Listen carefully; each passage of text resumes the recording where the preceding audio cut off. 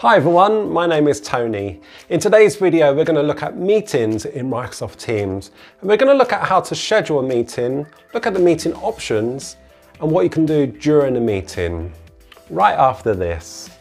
If you want to learn how to master Microsoft and other useful applications, then by clicking subscribe and hitting the bell will put you on the right path. So to set up a meeting, you can either do it within the channel itself by clicking Meet, or if I want to schedule a meeting, I can just click on the drop down and schedule a meeting. Another way you can do it, and this is the way I prefer, is by going to the calendar on the left hand side.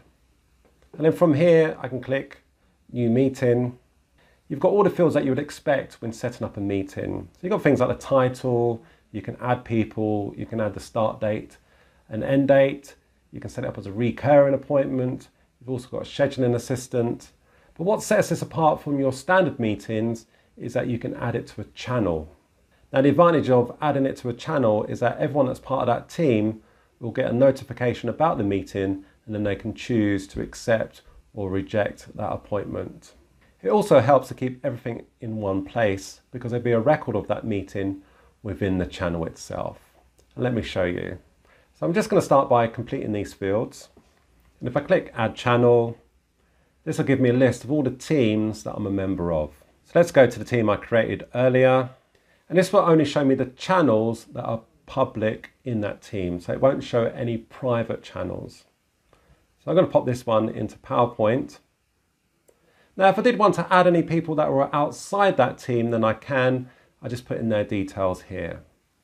So that's all the required fields completed. So I'm just going to click send. Just to show you how it looks within the channel itself, let's have a look at that now. So if I go to Teams, then in the PowerPoint channel, there's the meeting there. So it keeps it as a record within posts. Before we join this meeting, let me show you the meeting options that are available. So I'm going to go back to the calendar I'm going to click on the appointment. Let's go to edit. So let's have a look at the meeting options. And meeting options is only available after you've set up the meeting. So let's click here and it will open up into a browser window. The first option is in relation to the lobby. So lobby is like a virtual waiting room.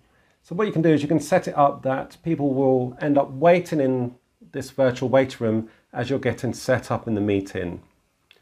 And then the idea is that you could admit them into your meeting when you're ready. So for this example, I'm going to say only me, so only I can bypass the lobby. So I'm going to make everyone wait until I'm ready. Another option you've got here is you can get Microsoft Teams to announce when people leave or join the meeting. Now personally, I find that distracting when I'm working with larger groups, but it's up to you. If you want to switch it on, it's just a matter of clicking on that switch. But sometimes it's useful to know when someone has left the meeting. The other option you've got here is who is the presenter. So by default, everyone is, which means that everyone has the controls. So they can mute everyone, they can remove people, they can share their desktop. So if you want to control that a bit more, by clicking here, you can either choose people from your organization. So everyone in your organization will be the presenter. You can specify people or you can select only me. And you can amend this during the meeting itself, and I will show you how in a moment. So let's click save. So to join this meeting, obviously I can click join here, but the other options you've got, you've got the link or you can dial in to this meeting as well. For this example, I'm going to click join. I've got options here to put my web camera, or to unmute myself, but I'm just going to click join now. And it comes up to show me that Ron Burgundy is waiting in the lobby. So Ron is waiting in that virtual waiting room I told you about. So I've got the option here to admit him now if I wanted to, or I can view the lobby. And this would show on the right hand side that Ron or anyone else is in that waiting room. And I do have the choice here to admit them here or deny.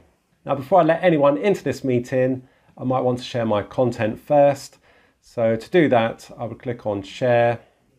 I've got options here to share my desktop, to share my window, or to share a PowerPoint file, or even a whiteboard. Uh, for this example, I'm going to click browse. So I'm going to browse to a PowerPoint file. I'm going to upload from my computer. I've got a PowerPoint file here. So click open. And what this will do, this will load the PowerPoint presentation within Microsoft Teams. And this is the recommended way of presenting your PowerPoint presentation. If I click on this eye here, this will stop people from navigating through my presentation, so only I can control this presentation.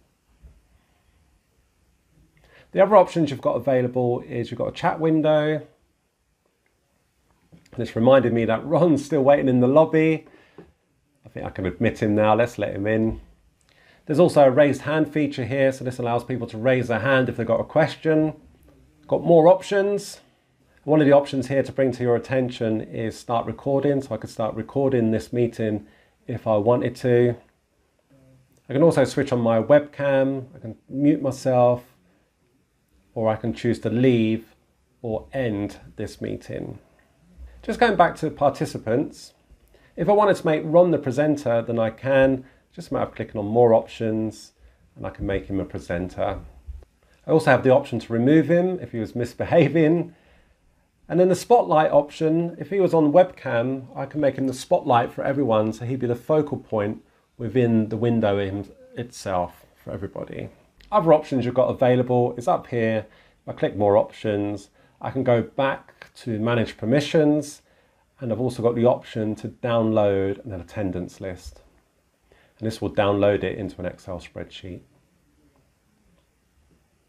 Going back to more options, another useful option is meeting notes. If you want to learn more about meeting notes, then watch this video here, or watch the video that YouTube is suggesting.